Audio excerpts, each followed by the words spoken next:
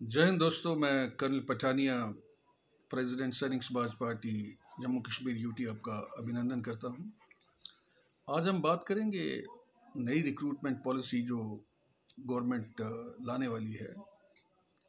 और जिसका नाम उन्होंने रखा है टूर ऑफ़ ड्यूटी इस समय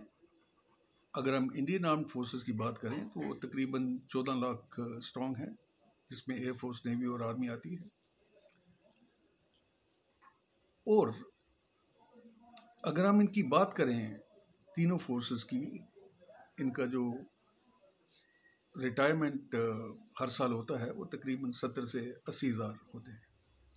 पिछले दो साल से गवर्नमेंट ने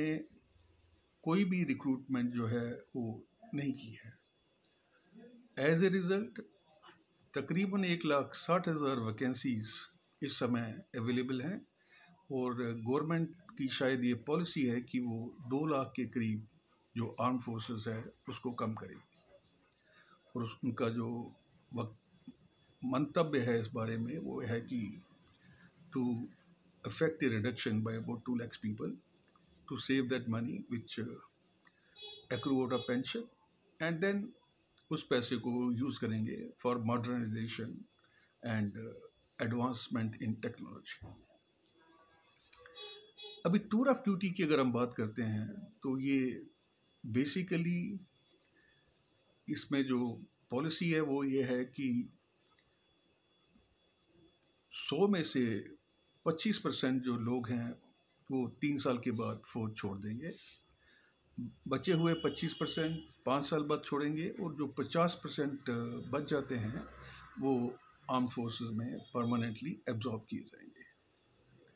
गवर्नमेंट इस लॉजिक से तकरीबन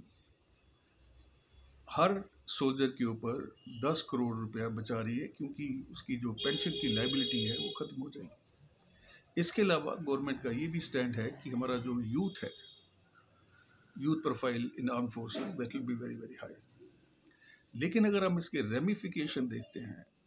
लॉन्ग टर्म के अंदर तो वो काफ़ी सीरियस है। आर्म फोर्सेस एक देश की सुरक्षा के लिए, और ख़ासकर जब हम चाइना और पाकिस्तान से पूरी तरह सराउंडेड हैं, हमें अपनी शक्ति को मेंटेन रखना है, इसको कम नहीं करना है। ये जो टूर ऑफ़ ड्यूटी कंसेप्ट है, जिसके अंदर, ये जो अग्निवीर गवर्नमेंट ने इनको नाम दिया है, कितने लोग होंगे जो तीन या पाँच साल के लिए फौज को ज्वाइन करना चाहते हैं, वो भी जब उनको पेंशन नहीं मिलेगी। और दूसरा अगर ऐसे लोग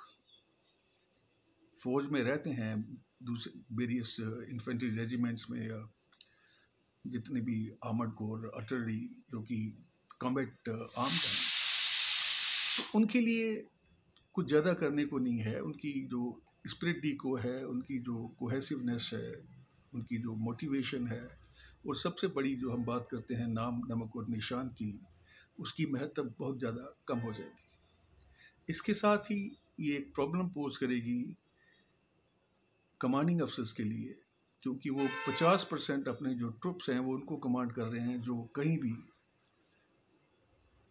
अपना अच्छा प्रदर्शन नहीं कर पाएँगे बिकॉज़ ऑफ़ सर्विस कंडीशंस इसके अलावा हमारी जो आर्मी है, वो डेजर्ट में ऑपरेट करती है माउंटेन में ऑपरेट करती है काउंटर इंसर्जेंसी में लगी हुई है। तो ये सारी चीज़ें तीन साल में नहीं सीख सकता और आर्म फोर्सेस को आप as a place of tourism बनाते हैं तो देश के लिए हित में ठीक नहीं है। थैंक यू जय हिंद।